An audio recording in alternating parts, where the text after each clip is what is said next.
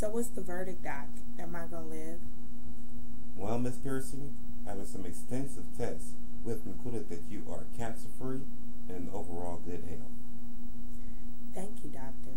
Finally, some good news. You're welcome, Miss Pearson. That although you have HPV for the rest of your life, you can still have a good sex life as long as you are honest with your partners and always use protection. Thanks for the heads up. Doctor, can I schedule an appointment to check my status? I never knew too much about HPV until now. Sure thing, miss.